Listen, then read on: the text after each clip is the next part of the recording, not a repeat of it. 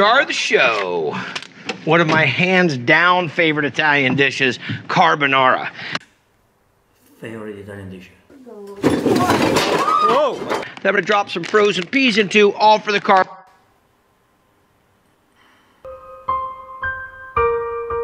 Quick stir, and I'm gonna take them out. Bravo, that's right. I mean, the pasta should be cooked once the sauce is ready. In this case, the egg is ready, the pancetta is ready. All he has to do is to mix everything together. There's nothing else to add. Just remove the peas. They go right under here. So pull. Maybe your mom should have made carbonara. Oh! Hi guys, in this video we are reacting to Guy's Fieri Carbonara. Fieri, fiero in Italian means proud. Let's see if Guy is proud of his carbonara. Star of the show. One of my hands down favorite Italian dishes, carbonara. Wait, did I just see peas and parsley in the carbonara?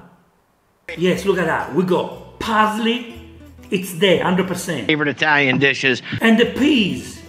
And he's saying it's his favorite Italian dish. Listen, Down favorite Italian dishes. Favorite Italian dish. Whoa! Okay, the problem here is big, right? He's saying it's his favorite Italian dish, carbonara. But to me, the beginning already doesn't look like carbonara. So what's Italian about this? What's Italian about this? You, Gordon Ramsay, and all your friends who use peas everywhere. This is not a pie. The pancetta. If you can have your butcher or your deli person cut that for you in about quarter inch, that's what you're looking for. That's a nice ring. That's a big ring, Mr. Guy Fieri. Pancetta, yeah, I agree with what he's saying. You should cut it that thick so you can create cubes. People like cubes. I like to cut into strips. Okay, the guanciale, big chick. It's getting more popular. You can buy it online. If not, get a pancetta. But you want fat on one side, meat in the middle, fat on the other side. So when you cook it, it becomes nice and crispy. The fat will become oil, so you have less fat on the sides and the crispy meat in the middle. It's an important detail.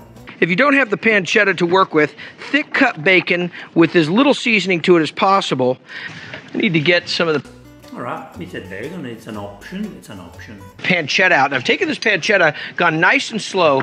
Mom, if you don't mind, I need four yolks he's using his mouth. and one whole egg. Four yolks and one whole egg. Four, four yolks, one whole egg. So I'm pretty sure he's making 400 grams of pasta. 400 grams, so for four people. And the extra egg, we say it's for the pan.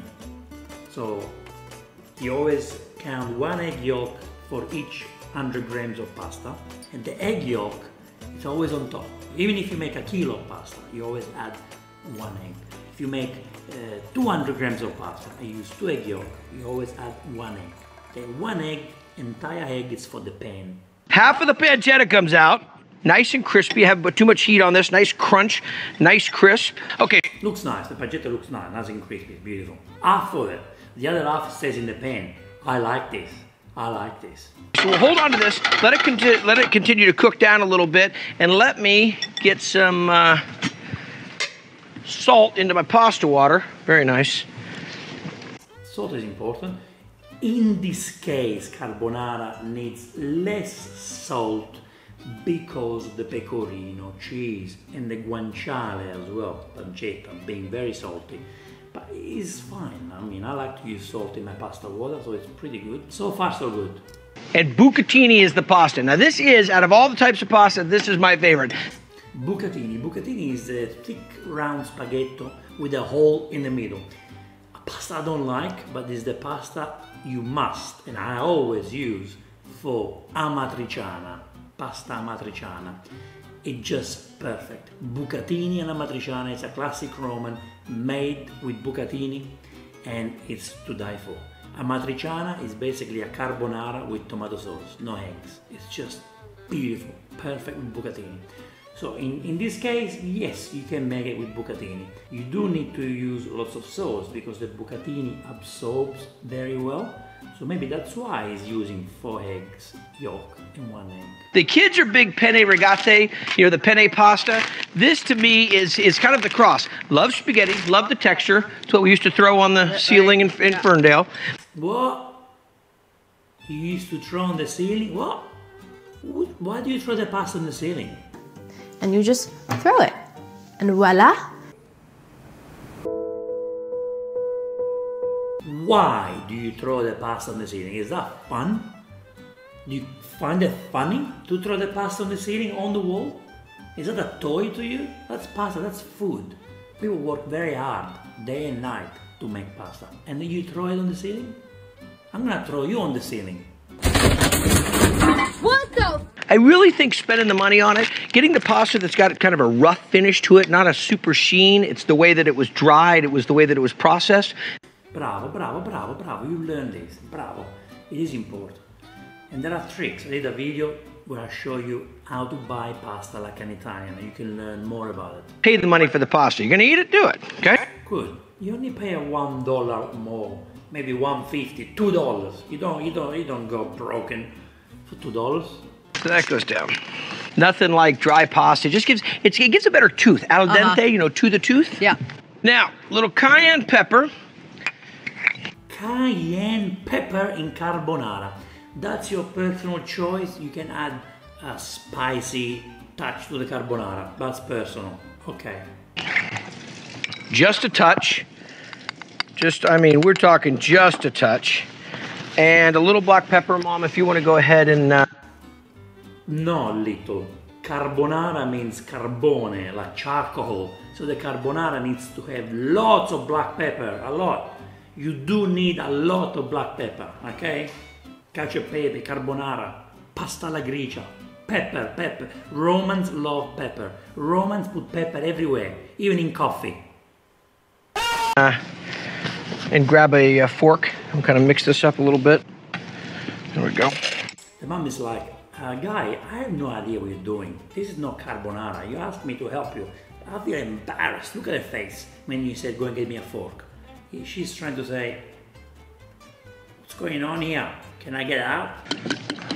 They go right under here. So pull Maybe your mom should have made carbonara. Oh!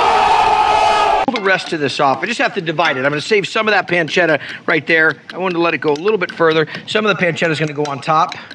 Let it cool down a little bit, and then we're going to mix it into the eggs. So it's going to be the eggs and He's done this before, so he knows what he's doing. At the same time, I'm worried because he believes he's making carbonara, but he's not. But so far, everything is good. So far, I like everything is done. My only issue is that I watched the beginning and I can see peas and parsley, so I hope he did it as a clickbait. And mom, you can go ahead and throw that cheese in whenever you're ready. We're not making an omelet. And this the is all the beginning. I'm making an omelette. What cheese is that? Huh? Is that pecorino cheese or parmigiano? What is that? preparation right in there.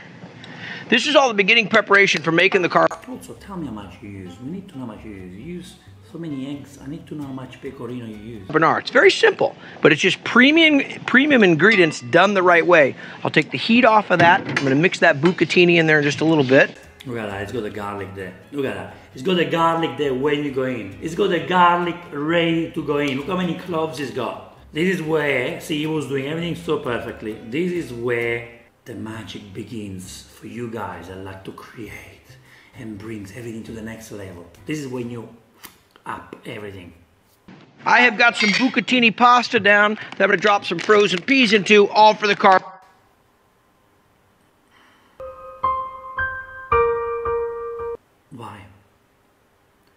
Why, why, why did you watch Gordon Ramsay video? Why did Gordon Ramsay created the peace revolution? Huh? This is not peace. This is war. Why are you using peas for carbonara? Carbonara. Now, you're saying you put the peas in, oh, they're going to overcook. It's going to be crazy. No. What's going to happen, I'm going to give them one little quick. What's gonna happen? I'll tell you what's gonna happen. You are ruining an Italian tradition. If you go to Rome and you tell a taxi driver, hey, can you take me to a restaurant where they make carbonara with peas? He's gonna kick you out of the taxi. Do you understand how serious this is? Carbonara is serious business. Do not play with carbonara. And do not use peas in your carbonara. Do you like peas? Well, cook peas on the side or put it in your pie, but not in carbonara. Quick stir, and I'm gonna take them out. That's just gonna thaw them out just enough. I don't want them to sit there and get to get uh, thawed out on the counter. Then they get mushy, and it just won't work right. Bravo, that's right. I mean, the pasta should be cooked once the sauce is ready. In this case, the egg is ready, the pancetta is ready. All he has to do is to mix everything together. There's nothing else to add. Just remove the peas. Okay, over to the pot to this pan here that has a little bit of that pancetta fat. That's what I'm looking for. Peas. Can't, I can't believe it. I mean, it's all these beautiful flavors there making love together. You got the beautiful oil from the pancetta. Just stir, toss this pasta, and let the pasta have fun with the oil. Reserve that water there, just to make a little. Bravo. little bit of the uh, little bit of the pan sauce pancetta some yolks and some parmesan cheese all go together for this dish now bucatini the pasta with a hole in it the spaghetti with a hole in it isn't the normal one Now, the pan I believe is hot because I can see, I can, I can hear the cooking. You can hear. Listen to the sound. Listen. hole in it the spaghetti with a hole in it isn't the normal It's very loud, right? Now, in my video, my original carbonara video, I did say have the heat, the fire, on a very, very, very low heat. Very, very low. That's a technique for beginners, for everyone who wants to make carbonara. The reason why it's very low is because it doesn't make you scramble eggs. In that video I made, there is a little bit of scramble, but it's not really scramble. It's something like egg made love with the guanciale, so you can see that beautiful old-fashioned carbonara. In this case, the pan is so hot, it's sizzling. He added the egg right now. What is it gonna happen here? While he's concentrating on talking about bucatini, we are going to get scrambled eggs. Unless he does this extremely fast. Let's see.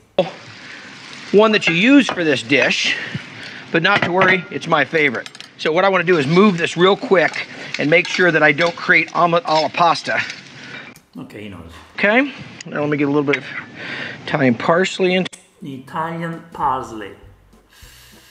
Thank God it's not called Roman parsley, otherwise you put parsley in every Roman dish. Italian parsley doesn't make carbonara better.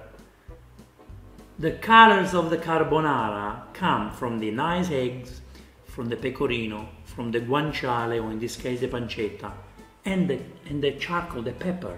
So you got the yellow spaghetti, you got the white of the pecorino, you have the dark brown of the guanciale, the orange of the egg, plus the pepper.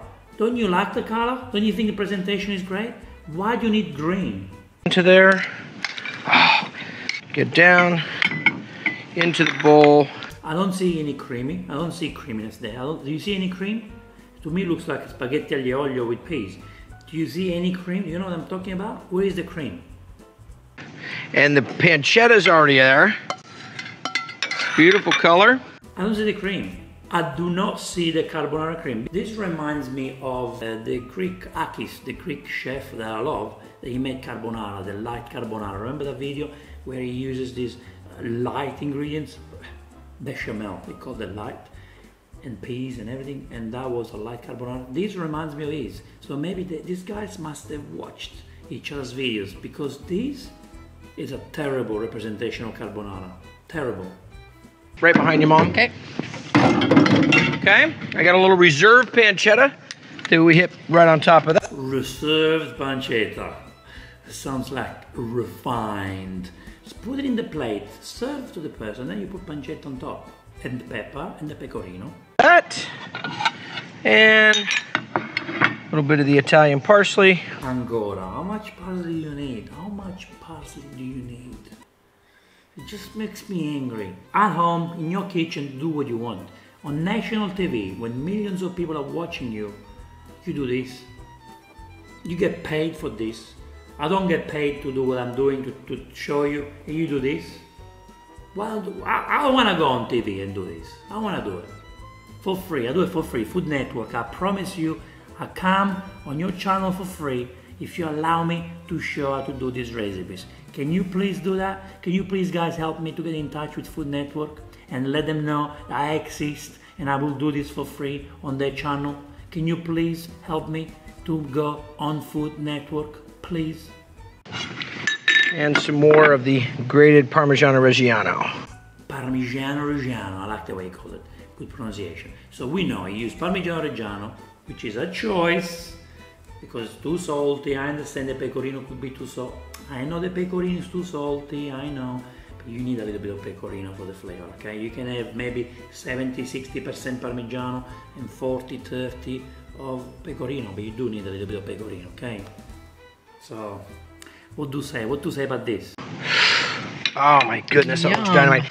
What do I say? Hungry for more? No, I'm not hungry for more. You put peas, parsley. The technique is wrong. The first half of the video was perfect. It was done the right way. It was beautiful.